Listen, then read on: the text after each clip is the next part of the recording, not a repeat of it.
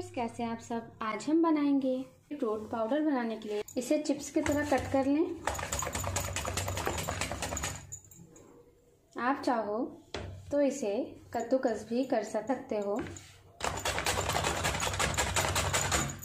इस तरह से मैं यहाँ पर इसे चिप्स की तरह कट करूँगी। अब हम इन्हें धूप में सुखा लेंगे। किसी कपड़े के ऊपर या पन्नी के ऊपर रखकर। बीटरूट चुकंदर अच्छे से सूख गए हैं। अब हम इन्हें ग्राइंड कर लेंगे।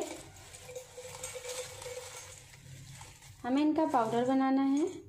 बीटरूट पाउडर अब हम इसे छान लेंगे। टेबल फ़ूड कलर है ये। आप इसे किसी भी खाने में इस्तेमाल कर सकते हो। फ़ूड कलर तैयार है। आप इसे किसी भी फ़ूड में इस्तेमाल कर सकते हो ड्रिंक में भी।